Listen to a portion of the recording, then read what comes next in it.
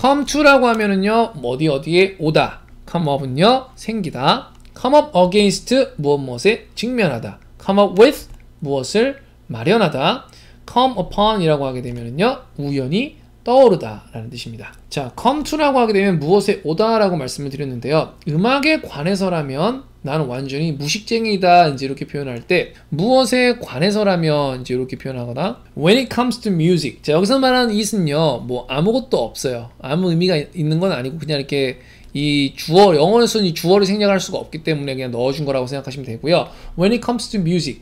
뮤직으로 오면 뮤직으로 오면 뭐가 왔는지는 없기 때문에 주어가 생략이 한국말로는 되는데 영어에서는 it을 사용해요. 음악으로 오면 그러니까 즉 음악에 대해서는 I'm a complete ignoramus 이렇게 표현할 수 있어요. I'm a complete ignoramus.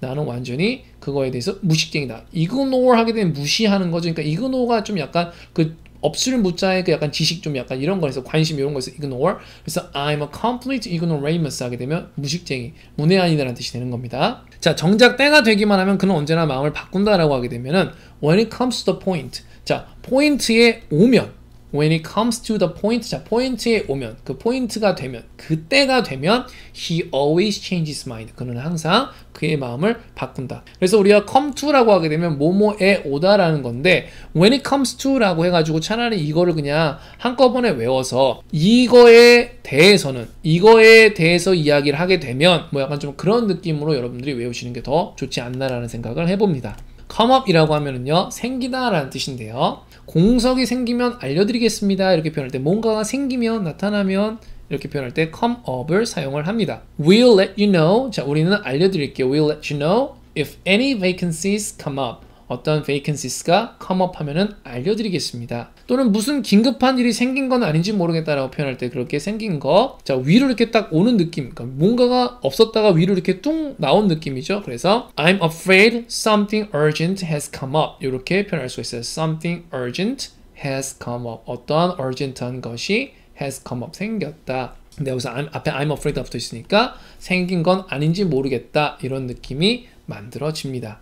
자, come up against라고 하게 되면 against는 무엇 뭐에 반대해서 대항해서 라는 뜻이고요. 무엇 뭐에 직면하다 라는 이제 그런 뜻이 만들어지는데 아까 come up이 이제 이렇게 발, 그러니까 생기는 거죠. 근데 어디 어디에 직면하게 되는지 어디 어디에 대항해서 생긴 거니까 직면하다라는 이제 그런 느낌이 만들어지는 것 같아요. 우리는 그 계획을 두고 많은 반대에 부딪힐 것으로 예상하고 있다. 직면할 것으로 예상하고 있다. 이렇게 표현할 때 come up against를 사용해서 we expect 우리는 기대를 하고 있어.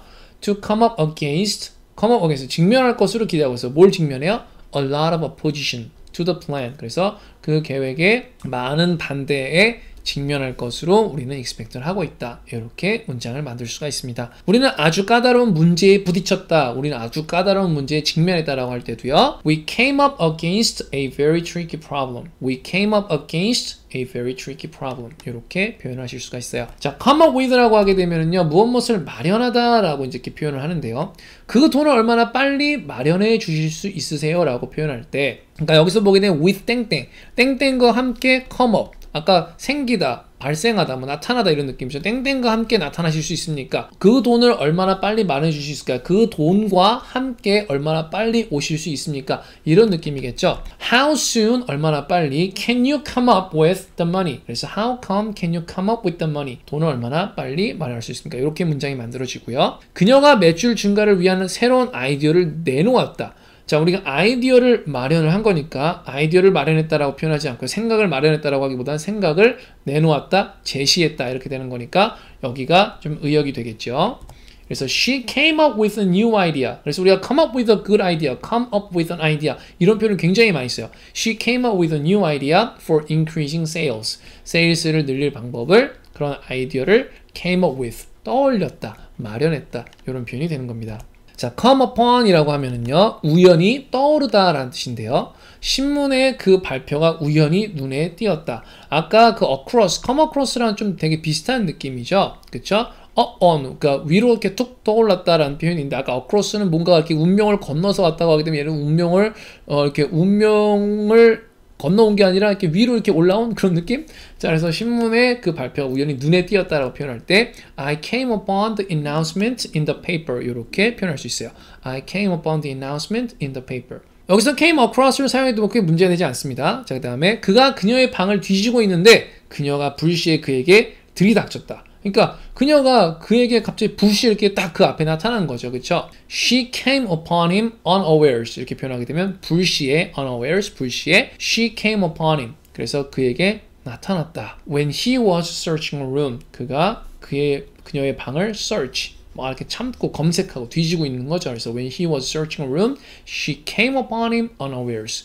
이렇게 표현하실 수가 있어요. 자, 어디 어디에 오다라고 할 때 come to 굉장히 간단하죠. 뭐가 생기다라고 하면 come up.